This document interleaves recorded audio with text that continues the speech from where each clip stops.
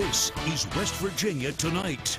Good evening, everyone, and thank you for joining us. I'm Mark Curtis. We'll have complete team coverage of the severe weather being forecast for West Virginia in just a moment. But first, we want to get to a stunning turn of events today in the ongoing West Virginia Supreme Court spending scandal. There was a deal at the Capitol this morning to allow two of the High Court justices to keep their jobs, but by mid afternoon, the deal collapsed.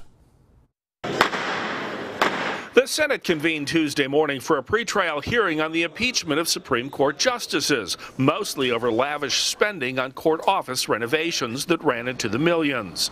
Justice Paul Farrell was presiding and the senators were sworn in as jurors. But then came a surprise proposal to censure Chief Justice Margaret Workman and Justice Beth Walker instead of removing them from office. We have had discussions with Justice Workman, Justice Walker, who are also included in Article 14, but who we believe are less culpable, um, not blameless as I indicated, but less culpable. She cares deeply about the court, about that third branch of government and is acutely aware of the damage these events have done.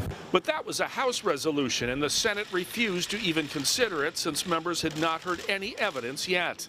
While Justice Menis Ketchum on the left retired in July, the other four current or retired justices will now face a Senate trial. The senators that I've talked to throughout this process have uh, made the decision to uh, wait until evidence is presented because we are uh, having to make a decision based purely on that evidence. Basically, we're just going to be fair and impartial, listen to the evidence, and and see where the evidence goes. It's really a simple process. The option of censuring justices could still come back, but for now, the answer is no.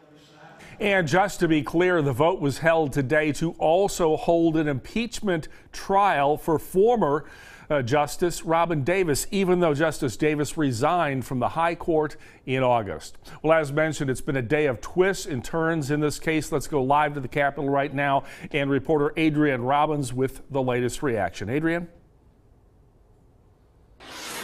Certainly did change here this afternoon with two of those justices going from having deals to having trial dates. I spoke with Senator Ferns, who first questioned that resolution that was ultimately deemed out of order by Senate President Mitch Carmichael.